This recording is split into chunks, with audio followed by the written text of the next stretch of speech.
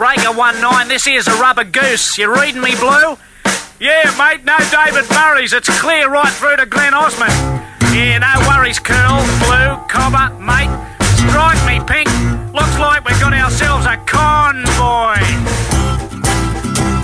It was dark with a moon on the 6th of June and a Kenworth pulling Freddo Frog. We're heading down to Glen Osmond Road. We're not scared of the fuzz. We're heading along the Mount a goose and I'm about to put the hook down. Cause we got a little convoy well into the night. We got a little convoy, ain't she a beautiful sight? Come on and join our convoy, gonna get in our way.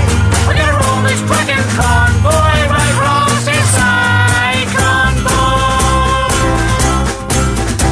Well, we rolled up interstate number one like a rat up a drain. We tore up all our log books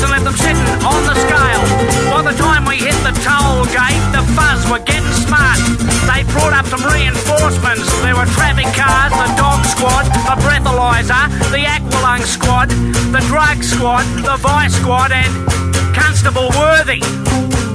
Well, we said, what the heck, we'll break our neck with four screaming trucks and 11 Adelaide University students in a Volkswagen Kombi bus. Rubber Goose, you want to put the Kombi in behind the suicide jockey? Yeah, he's hauling manure, and he needs all the help he can get.